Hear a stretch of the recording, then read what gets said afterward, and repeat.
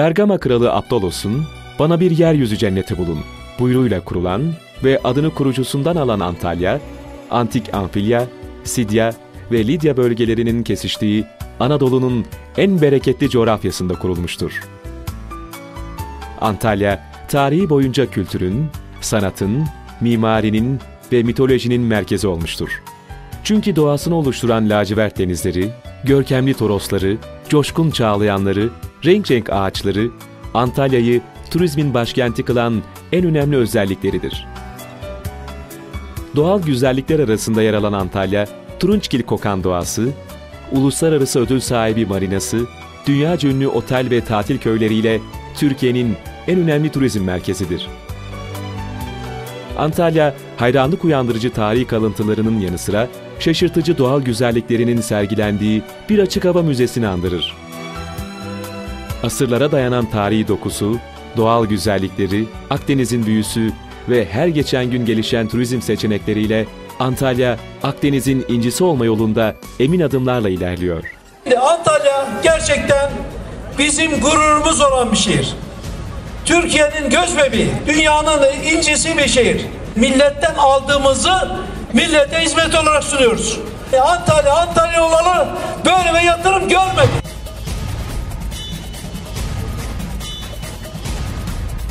Devlet Su İşleri 13. Bölge Müdürlüğü olarak 20.909 kilometre karelik alanda toprak ve su kaynaklarını geliştirme noktasında çok gayretli çalışmalarımız bulunmakta. Bölge Müdürlüğümüz 1 Haziran 1960 tarihinde Antalya, Isparta ve Burdur illerinde teşkilatlanmak üzere Devlet Su İşleri Antalya Bölge Müdürlüğü olarak kurulmuştur. 1969 yılında Isparta 18. Bölge Müdürlüğü'nün kurulmasıyla Bölge Müdürlüğümüz Antalya il sınırlarında teşkilatlanmıştır. Yurdumuzun su ve toprak kaynaklarını geliştirmekle yükümlü bulunan Genel Müdürlüğümüzün 26 bölgesinden birisini teşkil eden bölgemizin görev alanı 20.723 kilometre karedir. Bölge Müdürlüğümüz Antalya ili ve bağlı bulunan 19 ilçeye hizmet vermektedir. Antalya'da ekonomik olarak sulanabilir arazi toplamı 2 milyon 98 bin 200 dekardır.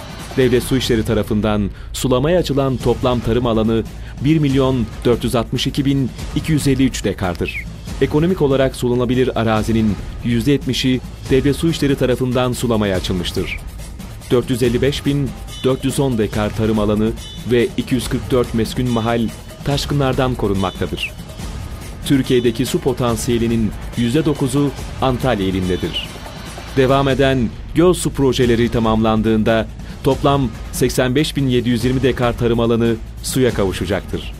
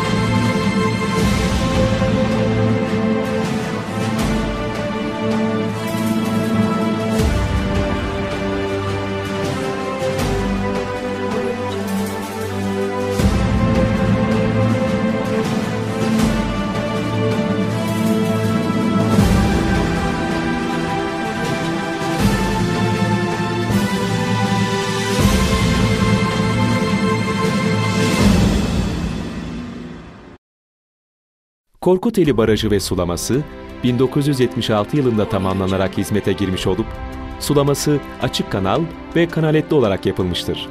Proje kapsamında vahşi sulama yöntemleriyle yapılan sulama basınçlı ve borulu sisteme dönüştürülmektedir. Rehabilitasyon projesi toplamda 56.860 dekar alanı sulayacaktır.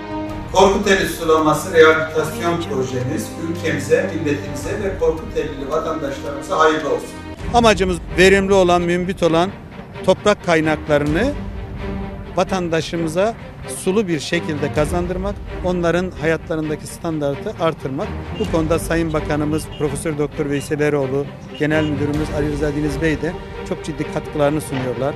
Yine Antalya'da milletvekillerimiz hepsi çok ciddi katkılarını sunuyorlar. Aksu çayının ıslahı bizim bölge müdürlüğümüzün en büyük işlerinden bir tanesi. İhale bedeli 124 milyon. Proje, kargı regülatöründen başlayarak denize kadar 52.280 metre uzunluğunda ve 80-130 metre değişken genişlikte kanal olacak. Alanya yolundan aşağıda halyeli kesitler yapılarak kanal üst genişliği 160 metreye ulaşacaktır. Kanal derinliği 3 ila 8 metre arasında değişmektedir. Seddelerin üst genişliği 12 metre olup 8 metre genişlikte stabilize yol olacaktır. Sedde şevleri 2 bölü 1 olacak ve iç yüzeyler en az 150 kilogram ağırlıkta taşlarla 40 santimetre kalınlıkta istifli taş tahkimat yapılacaktır. Bu projemizin en büyük özelliği biz bunu toplulaştırmayla birlikte sürdürüyoruz. Biz dereyi hem ıslah edeceğiz hem de vatandaşın arazilerini toplulaştırarak daha güzel parselasyonlar haline getireceğiz. Ana kanala ilaveten yan derelerde de 18 kilometre uzunluğunda seddeli kanal yapılacaktır. Tahkimatlar için 1 milyon 250 bin metreküp taş kullanılacaktır. Bu proje kapsamında ayrıca köprüler yapılacaktır. Köprülerin temelleri fore kazıklı olup 500 adet toplamı 11 bin metre sürtünme yüzeyli kazık olacaktır. Köprü genişlikleri 8 metre olup 6 adedi ana kanal üzerinde, 4 adedi yan derelerin ana kanala bağlandığı seddelerde toplam 10 adet yapılacaktır. Aksu projesinin diğer önemli bir yanı ise ilk defa istimlak yapılmadan toplulaştırma yaparak uygulanacak olmasıdır. Ana kanal uygulaması yaparken 13.500 hektar alanda toplulaştırma yapılacaktır.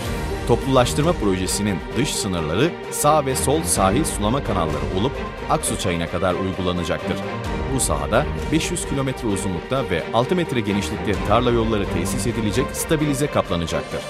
Böylece her parsele her mevsimde ulaşım sağlanacaktır. Tarlaların drenajı yapılarak sulama olanakları yeniden tesis edilecek, daha sonra da yeni sistem kapalı sulamaya geçilecektir. Antalya'mızda yapmış olduğumuz barajlarla, sulama testleriyle, içme suyu projelerimizle, dere ıslahlarımızla taşkını kontrol altına alabilmek için Antalya'mızı adeta küçük kapa çevirmiş bulunmaktayız.